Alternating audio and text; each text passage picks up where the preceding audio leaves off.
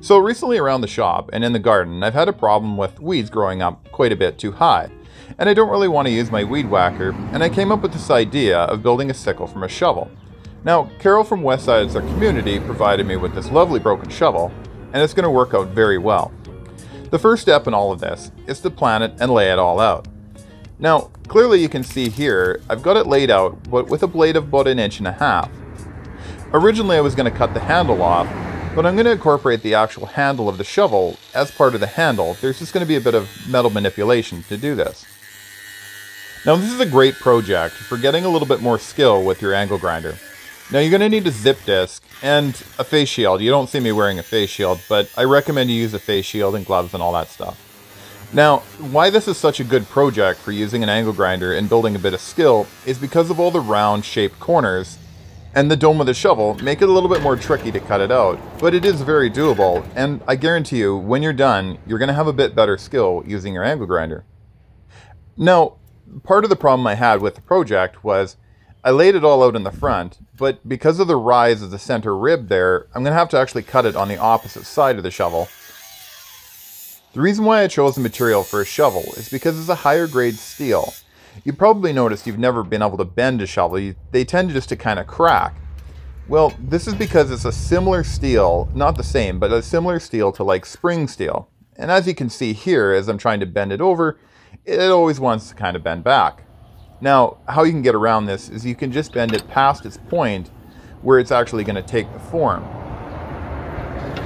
One of the problems that I did have with this project was because of the tip of the shovel kind of curved back on itself, I had to put a considerable amount of effort into making the whole blade relatively straight.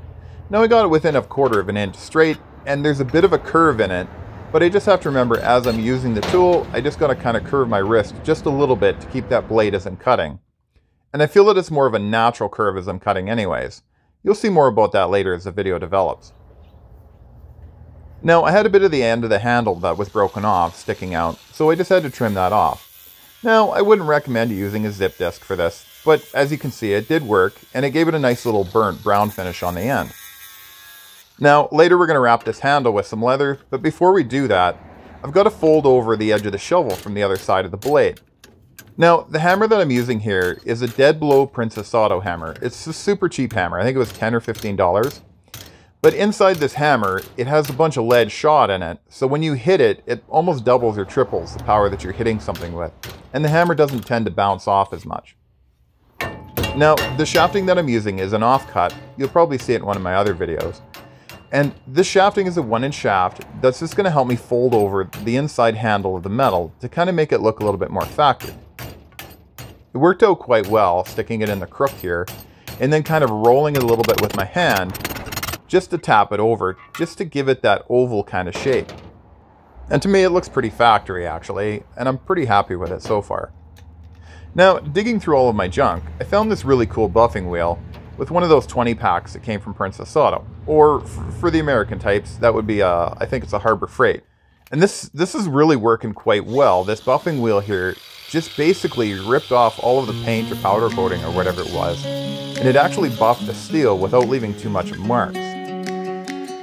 And now I'm going to take a flap wheel that you saw earlier and I'm just going to round these corners and give it the real good shape before I actually start to sharpen it. Now, if you do choose to build one of these, I highly recommend you don't sharpen it until you're the very, very last step because we all know what happens if you sharpen it right away and yeah, I mean, a lot of us get overzealous and we try jumping out there and sharpening it and then cutting with it before it's done, and then you got to deal with that sharp blade.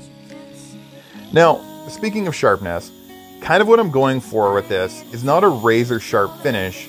I'm just kind of going for something that's a little bit more like an axe.